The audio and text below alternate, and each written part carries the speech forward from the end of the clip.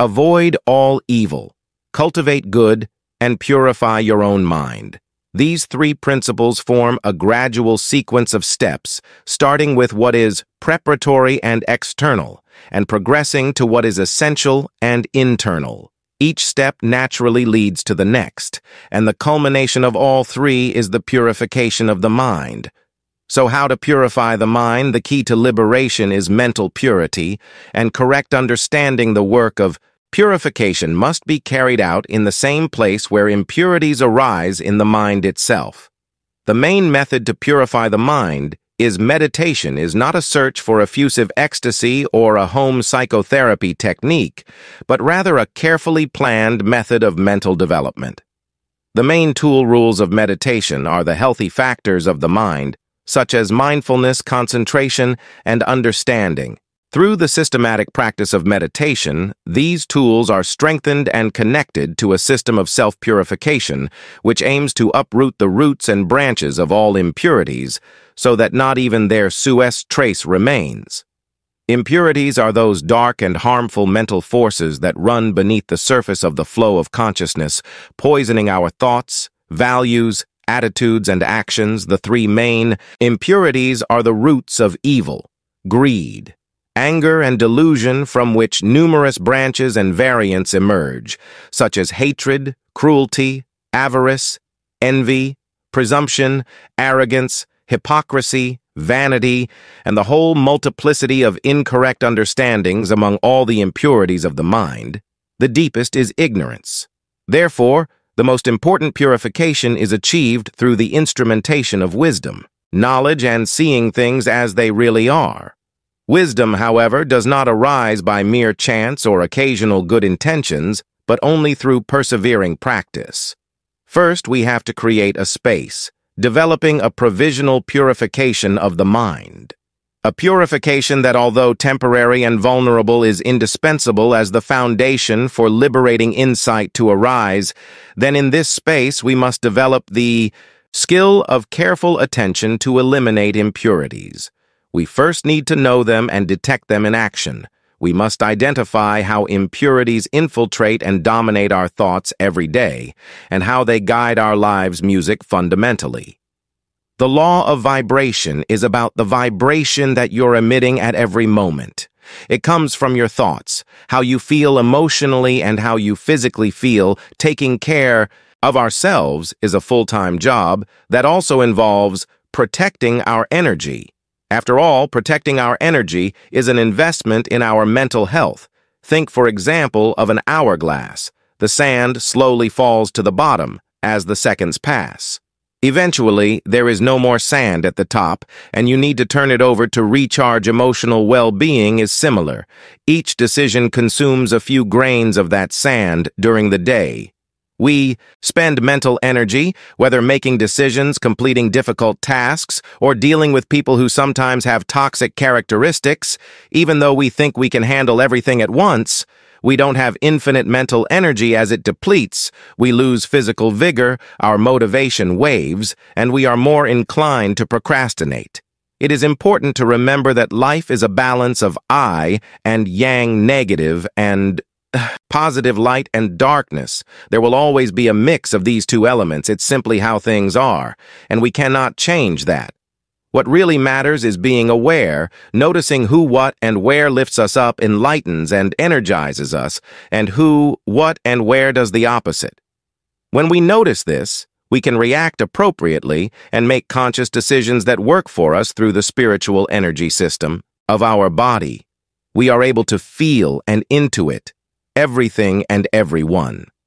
We come into contact with it is through this system that we can sense a tense atmosphere, perceive danger, and feel completely drained. It makes sense then to learn to protect ourselves and to keep our energy clean and charged in simpler terms. Intertwined with our physical body is an energy body made of vibrations so high that we usually cannot see it. The energy field that surrounds our body is called the aura and is composed of seven layers that pulse outward from our body. Our aura is interconnected with seven energy centers, known as the seven chakras within the body. which are linked to a vast network of energy channels called meridians and running through the inside of our body. If you are an empathetic person who often feels overwhelmed, it is essential not only to protect yourself, but also to strengthen your energy. There are several steps you can follow to effectively manage these energies. First of all, remember to prioritize your own needs. You are undoubtedly taking care of others around you, but even in the midst of all this, do not lose sight of your personal needs. We all have deep needs, whether it's a desire for rest, a desire to connect with something that resonates with our path, or the need to explore paths of spiritual practice. Perhaps there is a need to release repressed emotions, but we are not sure how to do it at the present moment. You may notice a heightened awareness of these needs. Perhaps in the hustle and bustle of life, you have ignored them, but something inside you may be awakening. This transformation requires recognizing and taking care of your needs. It is essential to understand that meeting your needs is not an act of selfishness. It is not about prioritizing yourself at the expense of others, but rather about replenishing the cup of your life by nurturing your needs and practicing self-love, you are effectively replenishing that cup, ensuring that you have something substantial to offer to the people around you. This is a deeply important concept that can easily escape our minds. Often we put others before ourselves and forget the importance of self-care. Therefore, remember, it is not selfishness. It is a vital step toward a fuller and enriched life. So take this reminder seriously and start taking care of yourself and your needs. The next essential point to understand during this phase is the power of awareness. What we expose ourselves to consistently can have a profound impact on our inner state, which in turn affects our energy. Have you noticed that when you constantly engage with disturbing or distressing content, you end up deepening in it? It's as if a subtle gravitational force is at work. For example, if you spend a lot of time on social media, absorbing the latest news and global events, you may find a subconscious attraction too. These topics, moreover, thanks to these algorithms, you will find more and more content aligned with your fears, frustrations, or anger over time. This can become counterproductive instead of enlightening. It starts to harm you deep down. You already have the knowledge you need. Yes, education and information are vital, but when information becomes toxic, it's time to step back. Thus, you can break the cycle of constantly filling your mind with fear and chaos. You have a greater purpose than being a mere consumer of information. In this phase, information overload is a real challenge, and trying to consume it all is impossible. If you allow yourself to become a past passive consumer, you will end up like a sponge soaked in a chaotic mix of everything without knowing what to do with all of it. What we really need is to connect with ourselves, discover our passions, and find out how we can make a positive impact on the people around us as well. It's about recognizing what distracts us from this path and learning to eliminate these distractions.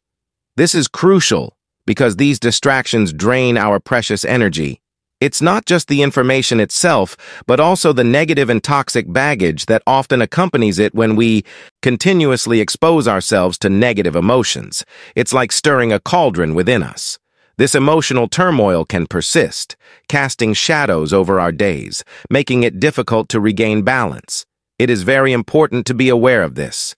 Think of your mind as a garden, Negative emotions are like poison to this garden, and I sincerely believe that you would not like to pour poison on music, it a good practice for. Recharging our energy is to have a good night's sleep. This is very important, as many studies have shown the profound impact of a good night's sleep. Breaking old habits, such as browsing the phone until late at night, can be challenging. However, nurturing sleep is a commitment to our well-being, our energy levels increase, and thus we cultivate a greater awareness of what really matters in our lives. Nature, the very essence of our existence, has an incredible rejuvenating power. Sunlight, for example, contains a profound energy that can revitalize us. So try to take a moment to go out during sunrise or sunset. You will feel a tangible shift in your energy as if reconnecting with the original source of all life. This is the power of nature. It reminds us that we are part of something bigger, a universal cycle that transcends our everyday existence by connecting with nature. We reconnect with that source, re-energizing our physical bodies and our souls. It is important to create and maintain healthy boundaries. This means learning to say no and establishing limits with other people and activities that drain our energy by protecting our time and energy. We ensure that we are investing in activities and relationships that are truly enriching and uplifting. Taking care of our energy is an act of self-love and wisdom. Be mindful of how we interact with the world around us and how it affects our energy. You are the guardian of your own energy. Take care of it with love, and it will sustain you. Taking care of personal energy also involves cultivating healthy relationships. The people we interact with regularly have a significant impact on our energy. It is important to surround ourselves with people who share similar values, who support and uplift us, rather than draining our energy with negativity or drama talk. Toxic or overly demanding relationships can be a major obstacle to maintaining healthy energy. Learn to listen to and trust your intuition is a powerful internal tool that helps us make decisions aligned with our deepest values and true self-learning to trust. This inner guide can help us avoid situations and relationships that are harmful to our energy. Be strong and enter your own interior. There you will have a solid place to stand. Think well about this and do not go elsewhere. Just throw away all thoughts of imaginary things and remain firm in what you are. Be still in your mind, quiet, your senses and your body as well when all are still.